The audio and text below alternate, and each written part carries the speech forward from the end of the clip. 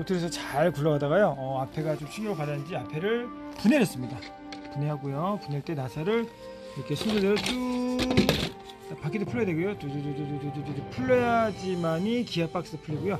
기아 박스 풀리면 여기 안에 보시면 기아가 있는데요. 링기아 좀 기아이 갈려서 다다다다 넘어갔어요. 근데 이것뿐만 아니라 여기 안쪽도 넘어가서 지금 여기를 좀 수리하려고 합니다.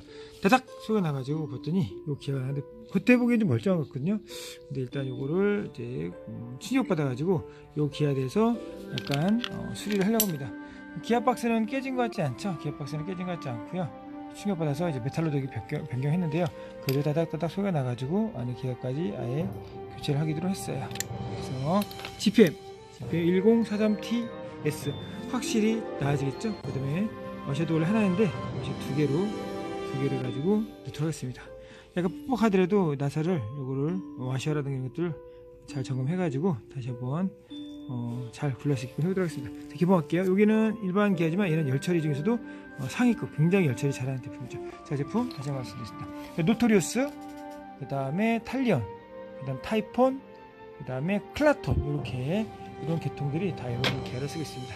여기서도 노토리우스입니다. 자 그러면 자 이렇게 고생스럽지만 제가 빛나는 걸 지고요 실시간으로 요 지가 안쪽 집어넣는 거 이거 빼는 게 되게 어렵거든요.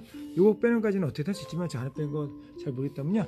유튜브에다가 RC 라이프 토요일입니다. 안녕하세요. 토요일. 자 오늘 날짜가 며칠이죠 2월 25일에 2월 25일. 2월 25일 날짜를 한번 보시면 되겠습니다. 굉장히 거의 전쟁과 같은 이 전쟁과 같은 작업을 할 거예요 자 작업하겠습니다. 오케이